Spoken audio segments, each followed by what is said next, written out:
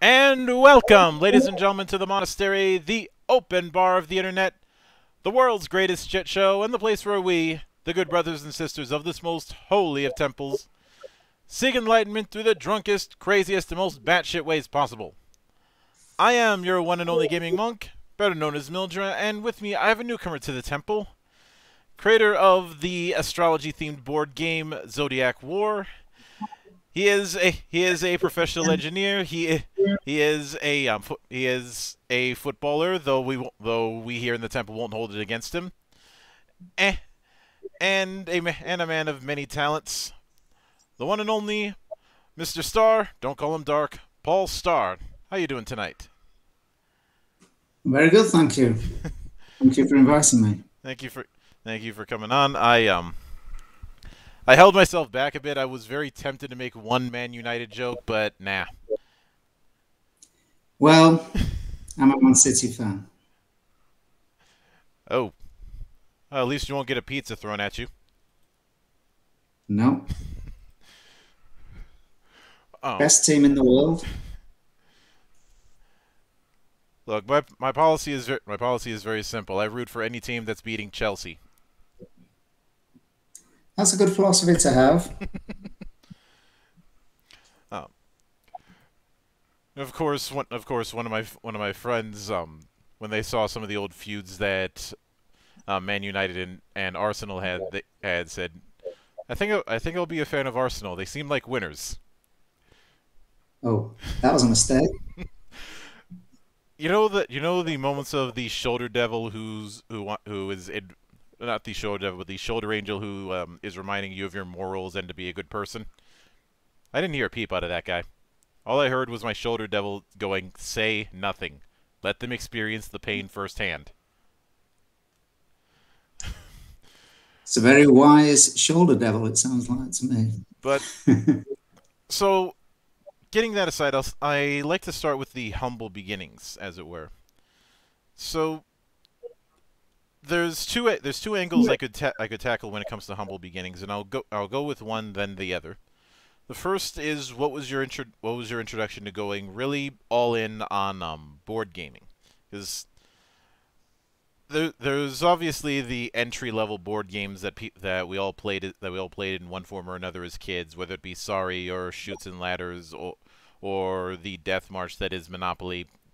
But then there's the more advanced stuff.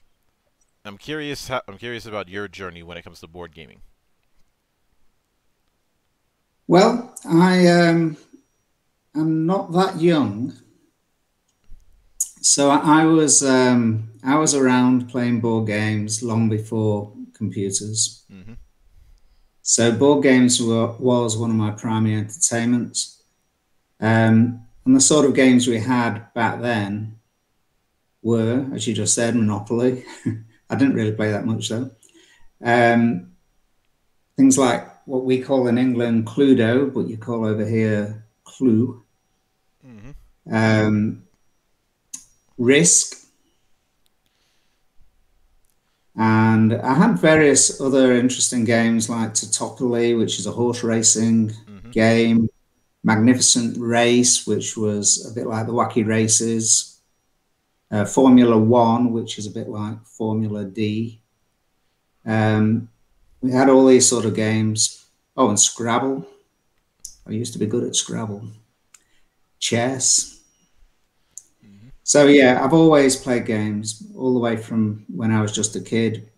When we had um, when we had nice summers in England, we would get um, a blanket out, play a board game in the back garden, um, it was always a way of entertainment.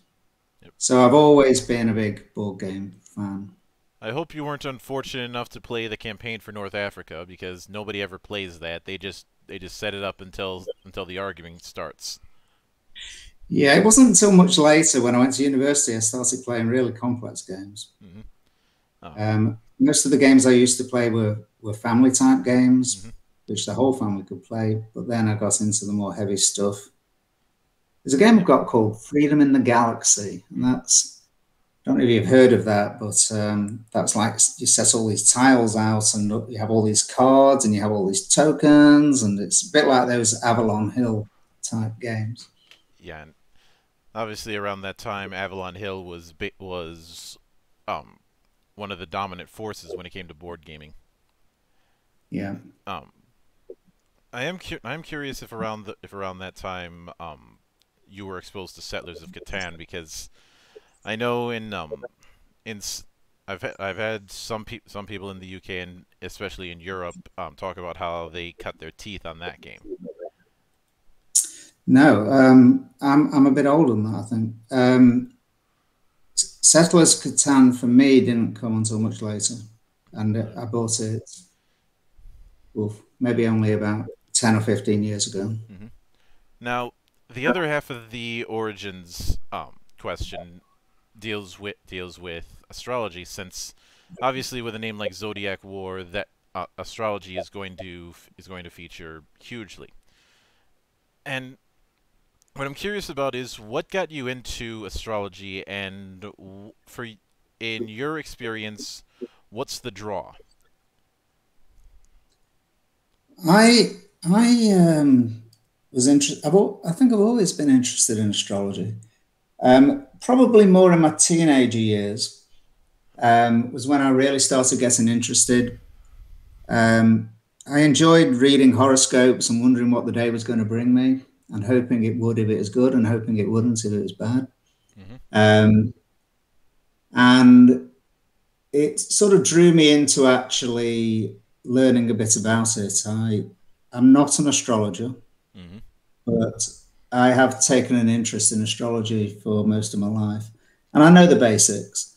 Um, so I started buying books, and I, I, was particularly interested in personalities. You know whether whether people I knew under a particular sun sign really did match those personalities, mm-hmm. whether astrology was real or whether it was fake, and how you actually do it, and how you know where the planets are, and how those planets influence how your day goes. And but the thing that really fascinated me was just the simple the simple things. You know, the simple things really fascinated me about astrology.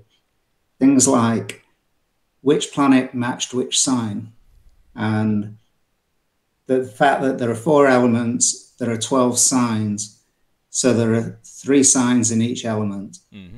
And it's quite it's quite mathematical, really. And I feel comfortable with math because I'm an engineer. Um, 12 is a wonderful number because it has lots of factors. And um, it was all those sort of things. I, oh, and I enjoyed astronomy. So there was a, there was a synergy there. Constellations, stars, planets, solar system. It's just everything. It's, and add to that the richness of astrology. Um, the the names of the constellations are just so cool. The the concepts of having 12 personalities that you can match to individuals, the the mythology behind um, those signs, you know, the Greek mythology, mm-hmm. the Roman mythology. I think it's mainly Greek though. And the the elements are always fascinating. You know, the four ancient elements. Um, so it's just a, a rich subject, you know, and then you get into the power of the planets and whether they're exalted or whether they're in fall or you know which constellation they're passing through um, it, it's it's such a rich theme for any board game, I think, and it's just surprising. Um, there's very very few things out there that are based on astrology in, in the way of board games. Mm-hmm. And what's nice about my game, I think, is it is based on genuine astrological themes. It's not like I've taken the idea of astrology and then made up the rest. I've, I've actually tried to build it around the reality of what astrology represents. Yeah. Yeah. And that now when I when I um when I did my research on the whole idea of a zodiac board game, I did find a I did find a few attempts, but a lot of them were rather static as far as the board is concerned. Uh, and one of the big um one of the big things that was a standout from what I saw of Zodiac War is the is the rotating board. And what I'm curious about is what gave you the idea to do that to do this uh, multiple circle rotating board um, concept? Well, interestingly, my concepts of the game started with the board, and it was my other life experiences that drew me to astrology with that concept. But the, the reason a rotating board became my um, influence or um, catalyst for an idea was I, about five years ago, I discovered Kickstarter. Now, others may have already discovered it, but I only discovered it five years ago. And I got pretty addicted. I was buying everything. And I was buying some real trash. and I bought a game. I bought a game with a rotating board and I'm not going to mention it, but um, I was disappointed. I felt if you're going to say a game has a rotating board, then it needs to rotate and it needs to have a reason to rotate. You know, it has to be part of the game, it doesn't have to be a gimmick. So I thought about, you know, this can be done better. And as I thought about that, I thought, well, if I'm going to make a board game that has a rotating board that has meaning and has use, then I know for a fact that the zodiac wheel will be perfect for this idea. And I already knew a lot about astrology. So I already knew there were 12 signs. And 12 signs, well, that's quite easy to divide a circle into 12. And I knew there were four elements. So fortunately, I could divide 12 into four. And I also knew that um, each star sign matched a planet, particularly in modern astrology. Mm-hmm. And it all sort of came together from that. I came up with the idea very quickly. I have photos of my first concept, which was literally three concentric circles piled on top of each other with these um, astrological symbols drawn on it. And that's how my game started. Right, that ma- that definitely makes sense. Makes sense. Um, um, now, when it comes to the when it comes to the components be, beyond that, um, something that something that I did something that I did note when I looked at demonstrations and the like is the fact that the that the key with the board the key with the board is for lack of a better term territory control or map or a kind or a kind of map control so that you so that you're trying to maneuver it so it gives you the best alignment. That's... would would that be a fair descriptor of the kind of meta that the that the game is shooting for where the um where it's best to try and get the right the the right movements to give you the maximum results? Yes, they the you know sort of marrying your question to the discussion about how the game developed. Um, yes, the the original idea, and it's still the theme of this game, was that we have each sign matching a planet and an element. And I always knew that that's what I wanted the board to do. I wanted the players to turn the board so they could get a perfect match for their sign that they are playing in the game. Mm-hmm. So, yes, the concept is move the planet to match the sign and move the element to match the sign. And when you achieve that, then something good will happen. Yep. But you have to consider other players might be wanting to stop you. Um, but then the question is, how do I do that? You know, um, I can't just have someone turn the board; they'll win every time. You know, it has to be it has to be a mechanic to make the board move. So that's when that's when I had the idea of cards to move the board, and I had dice early on in the um, early on in the development. I had dice and cards moving the board, and it got too cumbersome, too random. Um, so then I ditched the dice and it's all cards. And the cards are based on tarot. Um, and that was an interesting development in its own right. I started off with cards that just I had two decks of cards at 1st mm-hmm. one for exaltation and one for fall. And if you don't know anything about astrology, all that means is some planets have a good effect on a sign and other planets have a bad effect on a sign. And when these planets go into the, your constellation, it's either called exaltation or fall. Mm-hmm. And I thought, okay, two decks of cards, one exaltation, one fall. All the good cards are in the exaltation deck, and all the bad cards are in the fall deck. So what, what my original concept was is players would buy these cards and they'd buy good ones to have a good effect on themselves, mm-hmm. and they would buy bad ones to have an effect on other players. So that's how it started.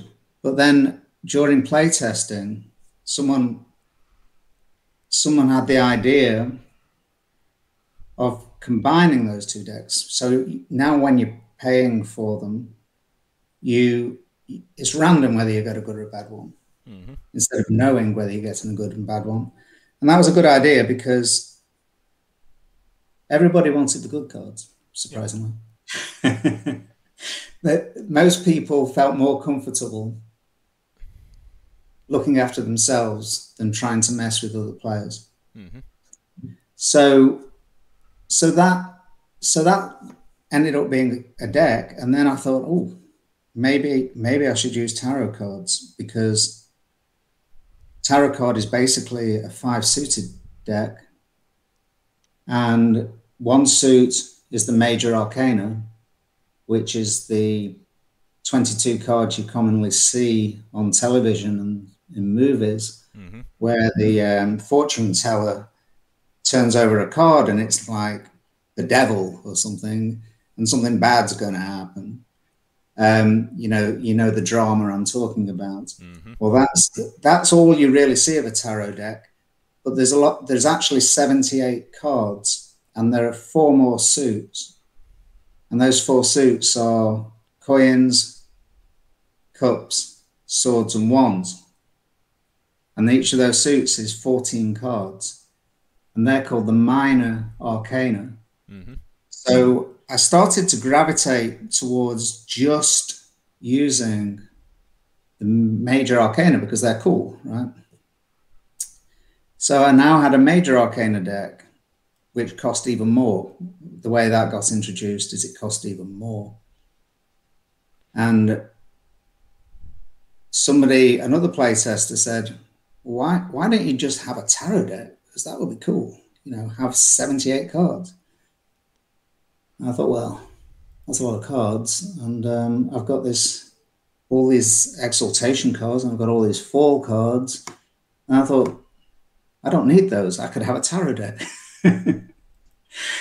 so that's what happened. I, I ended up making all the cards in the game one deck the um, tarot deck, and that deck does everything I described. It moves the board, it can affect other players, and it can benefit you when you play them. And which it does, you can choose when you play these cards. Yep. Yep. And, and now the I'm, guess, I'm guessing that that not wanting to have too big of a deck is the reason why you have eight. You have two decks in the form of Zodiac and Tarot. Yeah, the the um, the Zodiac deck came out of the original Exaltation and Fall decks because the original concept was they would be planet related, and they would um, they would move the board to align a planet with your sign, the Zodiac deck. But when I came up with the idea of a tarot deck, then the Zodiac deck changed as well. The Zodiac deck then became the planet deck, and that's all it does now. Mm-hmm. The tarot deck is a tarot deck. And now the the you don't you never you never take a zodiac card. It never ends up in your hand. Um, the zodiac deck is like like a horoscope at the beginning of your turn. It will tell you where the planets are. And it might give you bonuses based on what sign you are. Um, and it just sort of sets the scene for your turn.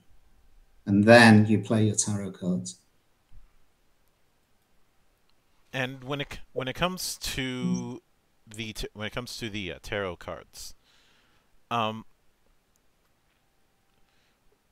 first off, when, first off, in the rules it stated that you can play up to up to three of them.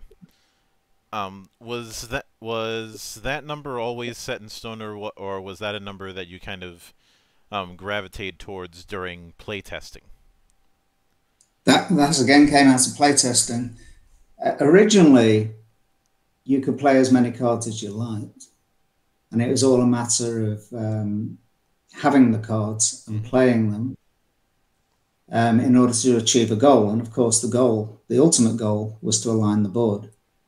Um, but what happened in playtesting is some people would have very long turns. You've seen that in deck building games anyway, probably. Oh yeah. Where, where you know, particularly things like Magic, or um, you know things like legends where you where you just get a particularly good hand and you can keep drawing and you can keep piling it on and you end up just hogging the gameplay for ages while the other player just sits and watches you mm-hmm. um, that sort of happened in my game in playtesting so someone had the idea that as we have um, tarot cards tarot cards are normally played in a finite number yeah when you're doing a reading you might play three cards or you might play four cards. Not play, I mean place. Um, and then you do the reading. So that's that was what the idea ended up being. What what if we just play three cards?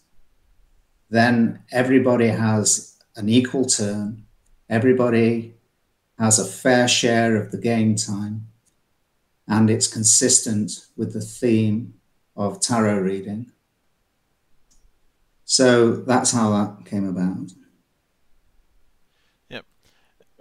Now, now, um, I I will admit that that's one of the things that immediately came to mind because if doing the whole as many cards as you want, I could see that result in um, hand dumping, or in some or in some cases, people people hoarding cards until the, until they just dump them all in one go. Um, in role-playing games, this particular phenomenon is referred to as nova-ing. Right. And yes. Um, go ahead, sorry. Oh, go ahead. Go ahead. I didn't mean to cut you off. No, I, I was just going to agree with you that, that from my play testing, that that did become a concern, mm-hmm. particularly when you have more players and everybody wants their turn. It didn't seem fair that some people would have better cards that led to longer turns. Yeah. And given th- given that, when you were doing playtesting, were th- were there any playtests that you did that you did where you put people on a turn timer? No, never. Ah, all right. No, I never did that. I always timed the game. I always took a note of how many people were playing, what sign they were playing, and how long the game took to play. Mm-hmm. But no, I never timed it by turn. Yeah. Now, when it comes to when it comes to the when it comes to the effects within tar- within tarot cards, it's it talks about being able to use them to move the board, collect faith, or attack. Um, now the first two I can get I can gather how that's going to work. Could you go into what attacking opponents it entails in this particular game and how high risk, high reward it is to do that compared to the other actions? Well, the the goal of the game. I, I ought to talk about the goal of mm-hmm. the game in order to put that into context. The goal of the game is to align the board and buy what's called star crystals.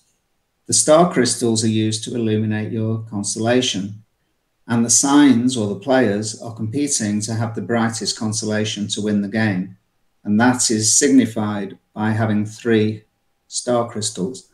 So, in other words, you have to align the board three times and avoid being attacked by other players when you do that um, in order to win the game. But to buy a star crystal, not only do you have to align the board, you have to buy the star crystal with 10 faith. Now, faith is like a currency in the game mm-hmm. that is that represents the strength of your followers. So you're you're constantly trying to attract followers throughout the game. Um, there are many ways of um, gathering followers. One of them is by playing your tarot cards, you can gain faith. By aligning the board even partially, you can partially align the board. For example, you can align your planet with your sign, fail to get the elements alignment, and still earn faith. And the zodiac cards can give you faith. Mm-hmm. So there's a lot of faith flowing around. And it's that faith you need. You need 10 of them which is quite a lot, to buy a star crystal. So you have to have two things happen at the same time align the board and have 10 faith.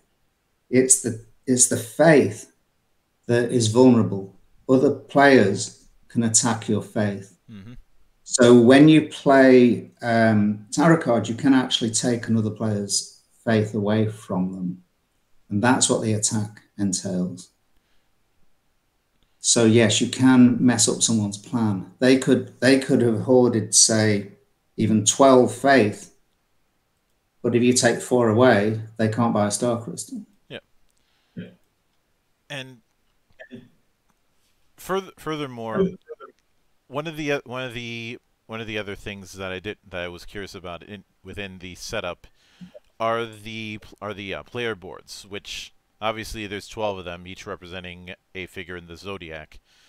And what I'm curious about with those player boards is how much of a factor do they play in determining someone's approach or someone's play style within within Zodiac War.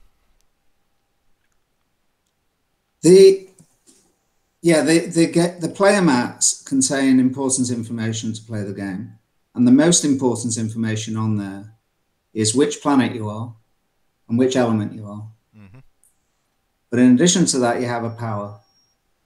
Your power is based on your astrological sign that you're playing. So, for example, um, if you are Leo, Leos are known for being outgoing, extroverted, charismatic, um, vain, I'm a Leo. Same here. and,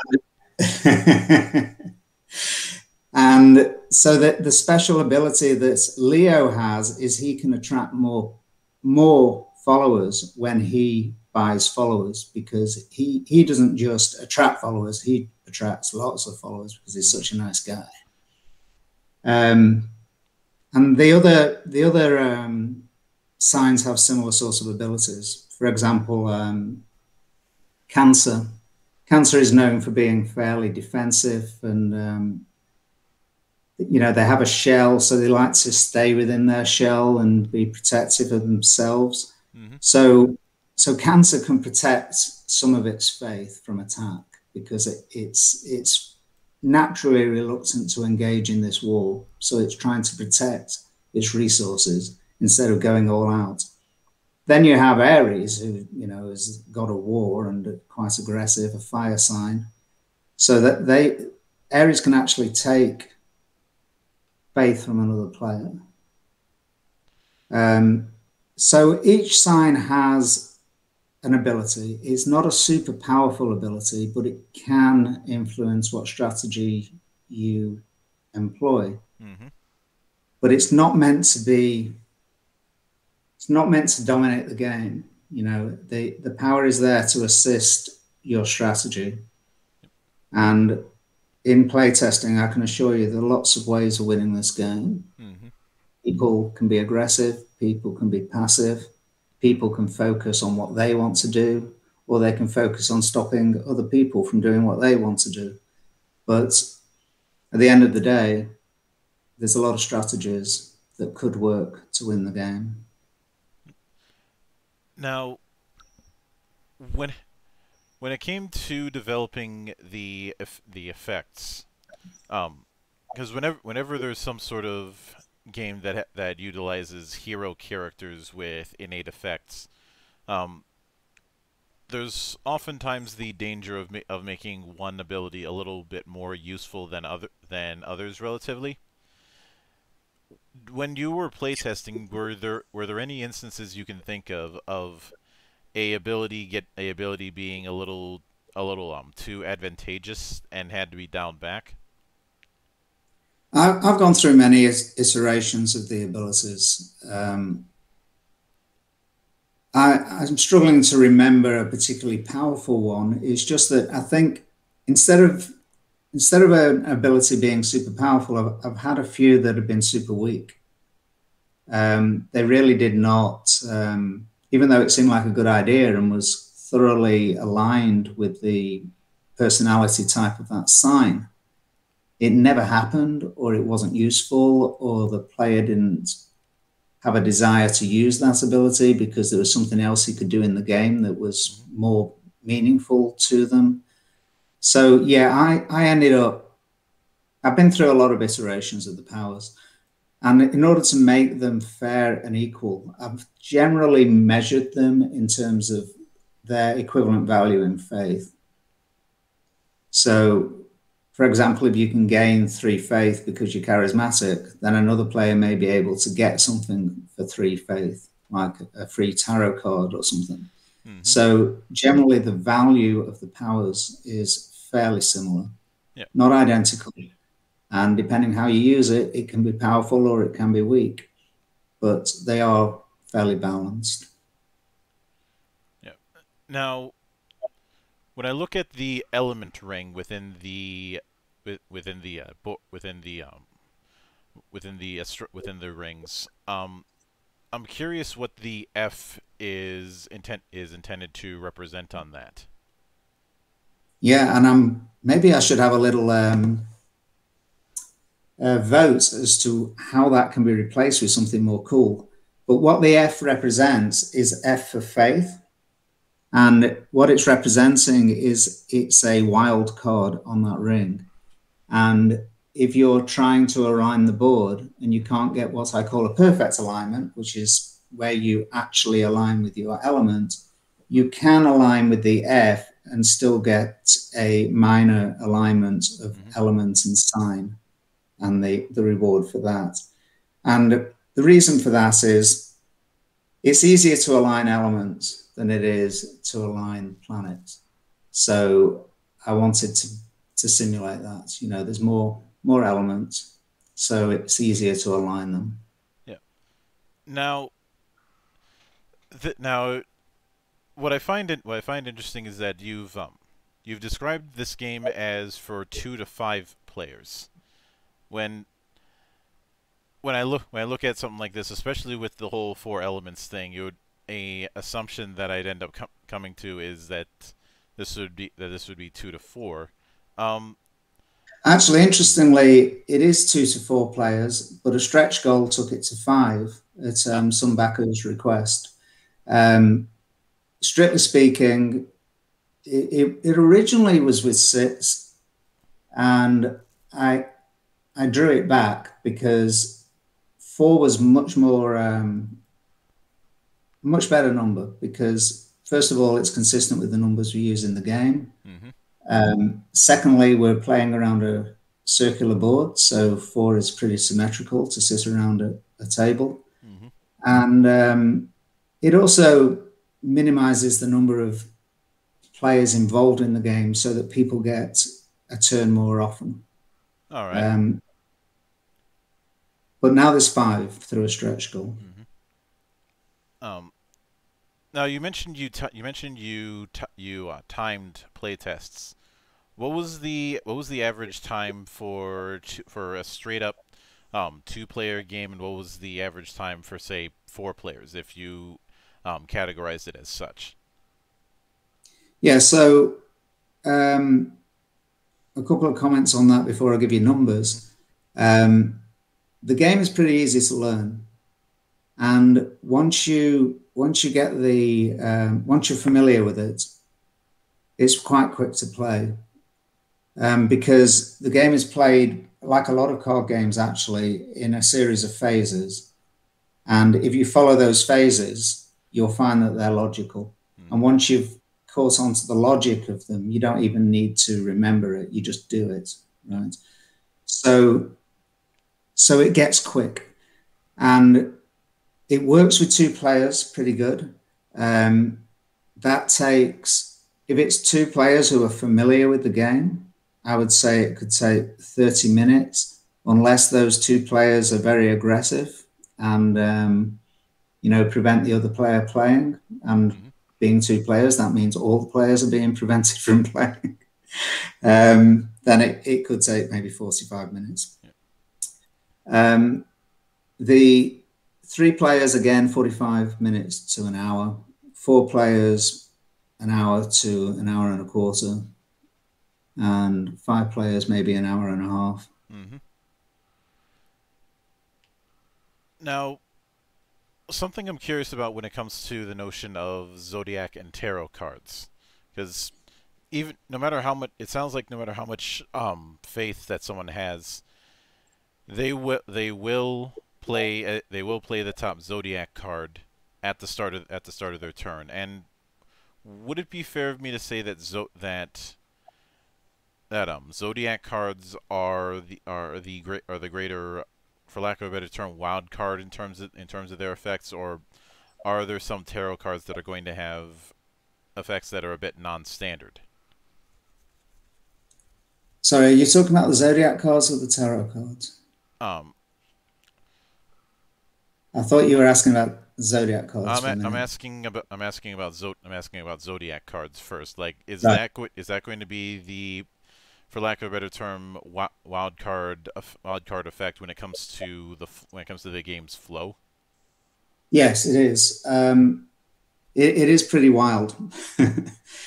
what what the zodiac card does is it shifts the planets, it shifts the elements. Mm-hmm. So it. I'll come on to that in a minute, but it shifts it shifts the elements, it, it shifts the planet and depending on how much the board moves, you can get some bonuses.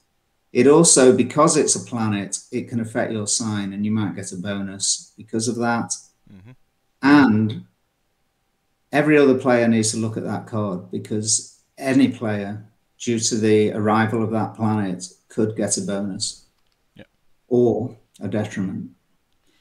Um, so, yes, it, it's when when people are familiar with the zodiac card, they'll all look at it and they'll all take whatever that card gives them. And that takes just seconds as as you get familiar with the game. You turn the card over, you take the actions, and you then move to your turn. Yep. Now, when it comes to actions on on a given person's turn, is it largely is it is someone's turn a largely self-contained affair, or are there certain cards or effects that could provoke interrupts by other players. Yeah. Um, your turn is described in five phases, but um, it's really four because the fifth phase is you end your turn. Mm-hmm. Um, the first phase is you, you play the zodiac card. Then you play your tarot cards. That's the second. Then you turn the board and take whatever uh, rewards you earn from the board, including buying star crystals. Then you can buy more cards. So you use faith to buy more cards. So mm-hmm. there's, even though you think you have a lot of faith, you still need it to get more cards. Otherwise, you your game will stagnate, and then you turn in. So they're the five phases. While you're doing that, that there are interrupt cards in the tarot deck. And as you play your cards, other players can interrupt the effects of those cards and just totally negate that card that's played. Mm-hmm. Um, interestingly, though, an interrupt card can be interrupted. so you can end up with an interrupt battle. Or interruptception. Yeah. Um. an extra phase called interrupt. Um, and that yeah so that's that's how that works. But but the major arcana have some interesting abilities too. There are some the major arcana are powerful. They have some very effective powers that can interrupt another player.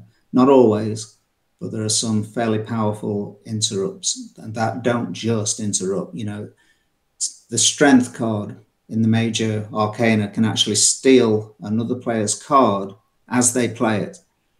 So before it activates, you can take it, mm-hmm. which is doubly powerful. First of all, it stops them, but secondly, you can choose which card you take because you're taking the card they're playing. Yeah. Now, within the rules, have you have you dedicated any space to to variant games?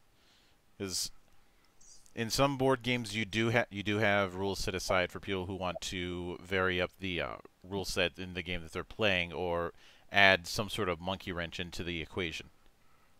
Yeah, absolutely. There's um, plenty of opportunity for variant rules, and I, I, will be including variant rules in the rule set.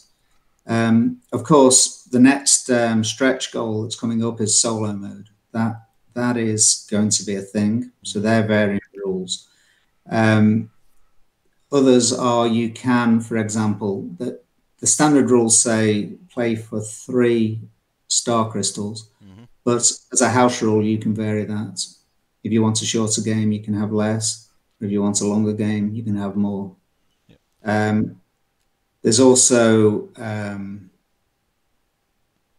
interrupts is another variant. You can play without interrupts for a more peaceful game, more of a strategic game without the chaos of interrupts.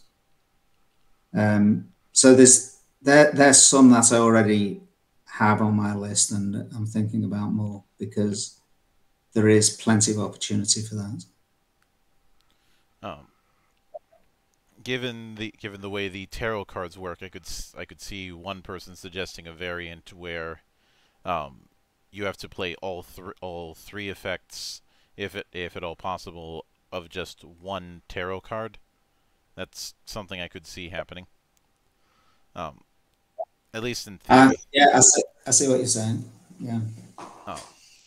So it ba it basically means you'd have to you you'd only be playing what you'd only be playing one card, and you'd basically it'd basically be for people who want to do a longer game but still have a degree of chaos.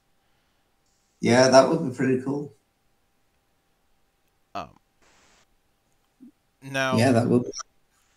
Now, um, you've you've certainly you've certainly gotten some ve some very fantastic artwork when it comes to Zodiac War. Um, and I'm what I'm curious about is how you and go ahead. I'm not saying anything. well, I was curious about is how is how you got how you got in touch with the two with the two primary um artists for for the project. Um, now the first the first one I'm probably going to mispronounce her name, and I apologize in advance. Katerina Poliakova. That's very good. And the second one being Connor Smith. How did you get in touch with those two? They the game actually started with me. I, I had this vision of um, what I wanted these signs to look like, mm-hmm. but I'm not an artist. I'm not an artist. I, even, I thought I was until I tried drawing something and then I realized I wasn't. Um, so I knew what they wanted. I, I, I have been a role player um, RPG for quite some time, as well as board games, and I, I imagine that the, each of these signs as being character classes. So I wrote up descriptions, but then I had to find an artist, and I went to ArtStation. If you've heard of that. Oh yeah. Uh, it's like Deviant Art, but um, the artists seem more approachable. Mm-hmm. Um, and I, I, just basically sort of sent emails out to art, artists that I liked the look of their art. And one of those was Katerina. And she responded saying yes, she would do the art.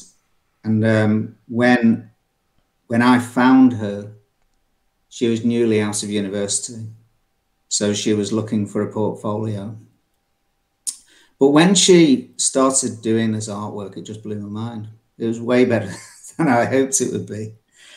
Um, and it was Katerina who um, she she really became passionate about the game. She went ba- way beyond her contractual obligations. She she got really engaged, and she um, she helped design the board, and she and she was going to do all 12 of the signs, but it became too demanding. She had um, she had other projects she needed to do. She was becoming more well known and more popular, and she couldn't fulfill that obligation.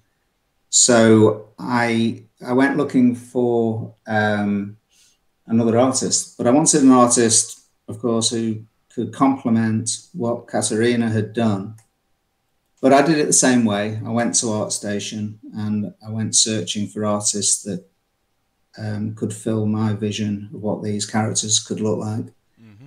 And um, Connor, I found Connor. Um, both both the artists are actually in England, um, and he he was willing to do um, the final six. They did six each in the end. Um, for what seemed to be a reasonable price. The price had gone up, but um, it was a reasonable price, and um, and he was very um, what's the word? Um, just like Katerina, he, he was very adaptable. He would listen to my views and he would make the changes I requested. Um, some artists don't do that, you know. So that's that's the story behind the artwork. And when you when you had gotten when you had signed them on, um, did was it a case of just was it a case of just giving them more more or less free more or less free rein to interpret things, or did you have a set of bullet points that you wanted each sign to focus on thematically? Yeah, I wrote I wrote a paragraph or two about each character. I described them in terms of a character class, I described them in terms of um, what they might look like, what they might wear, what um, what race they might be, um, and in each case, I tried. To, I did research into the astrology um, personalities to see if I could get um, a consistency between the the character class and the personality to represent that particular astrolog- astrological sign. And then I would give it to the artists, and they would they would have free rein from there. I didn't influence their artwork; um, that was beyond me. But they would always come out with something good, and I would, you know, I'd normally have an opinion about it. I'd normally say, "Yeah, I really like that, but can you change this?" Um, and then they would. Um, but yeah, it was a collaborative effort, but they did the work. Yeah. Now, you. Now, I do want to get. I do want to take this time to congratulate you on managing to get well beyond your initial your initial goal at eighteen thousand, and at the time of this recording, it's currently sitting at 30, 34.2 thousand. Um, what what would you be now what what would you be shooting for as far as a release window for the for the project? Not a release date per se, but a release window. Like what what quarter of of either. You mean when will I? I'm sorry. You mean when will I be delivering the games? When do I perceive that? Yeah. Yeah. Obviously, obviously, this is that's the reason I said I phrase it as release windows because I know this kind of thing is always in flux.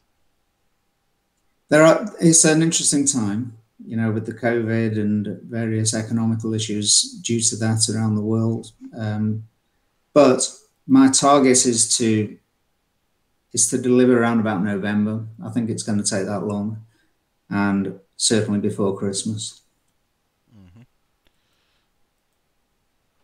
And give, and I can I can def that seems that seems a that seems a fairly reasonable um, range. Um, when it was it when it came to the whole rotating board thing, was it relatively easy to build the prototype for that, and make sure that when somebody's moving the board that that um that one circle is the only one that moves and others don't get dragged? Yeah, um, it started with a three discs on top of each other, and that that didn't work, of course, because when you turn a disc, it's going to turn the disc underneath it. Mm-hmm. So the design of the board is different to that. The the way that the board is designed is it's in two layers. You have the baseboard, and then the entirety of the board that rotates is the second layer. But the sun, the sun signs, the signs in the middle of the board, not the very center, but the, the middle ring, mm-hmm. um, that's fixed to the baseboard. It doesn't move. So the element ring and the planet ring rotate using the sign ring as the guide for that rotation. All right, I, I got you on that. And generally generally speaking, is that do you have do you have it as a rule that it's that any movement of the board is always get, is always going to be um, agreed upon as either clockwise or counterclockwise? Yeah, it's a rule. That's a good question, actually, because it's a rule in the game to always rotate the board clockwise. Um, and there are variations to the rules. Well, not not rule variants like we were talking about before, but there are things that say um, uh, that the major arcana can do to reverse the rotation of the board, for example. But they, the the general rule is the board board always rotates clockwise. All right. I, br I bring that kind of thing up because I could easily see somebody trying to get a little bit too cute with the idea with the idea of rotate of rotating the board one space and they rotated the one space that'll that'll work in their favor. Yeah. Well, you got that covered. yeah, the uh, uh, of course, on the other hand, it could it could be a good way to generate salt if somebody ends up accidentally overshooting the amount that they need, because then they got to wait for yeah. it to go all the way around again. Yeah, yeah, and, and that happens. Well, as we as we say around here, the dice gods show no mercy, even in a game without dice. Yeah. the the thing when you are rotating the board is if say you you have five movement on your card, you don't have to use all five. So you can move three in a line, but it would be interesting if um, you have a house rule, that's either, and this could be a variance actually for more advanced players, that you have to use the number on the card when you're rotating the board. Um, or, and this this is a bit like chess, touch move, if you if you rotate the board and overshoot, maybe players can say, "Hold on, you overshot. You've got to put it where you got to. You can't go backwards." I'm um, I'm al- I'm always gonna be I'm always gonna be in favor of put of putting in mechanics that are so that are solely designed to generate salt. Yeah. Yeah, there's some salt in this game. Oh, And if some if somebody wants to blame, if somebody wants a a blame reason for why, um, well, I pl- well, give, given some of the given some of the board games that I that I played growing up and how absolutely cruel some could be, up to and up to and including Battleship, and yet and yes, I was that I was that guy who would who would um who would make sure to draw make sure to draw it out as as long as I could to make someone tense about whether or not this was going to be the shot that sinks. In other words, you pepper your shots around the ship and make them think you're missing when you really know where they are. Yeah. yeah. It, it doesn't doesn't help that doesn't help that some people just don't know how just don't know how to hold a poker face. but that is a case of not my problem, but I'll certainly abuse it. yeah. yeah. Um, yeah, there's some people who enjoy, you know, some people like a peaceful game, others like to have a bit of friction. Um, this this game can do either. Mm-hmm. Um, bear in mind, um, it, it's two two different personality types I'm trying to cater to. We have the gamers who are obviously competitive and they play games to win, but the astrologers are more free spirited and they, they they like the game for what it represents and its educational value.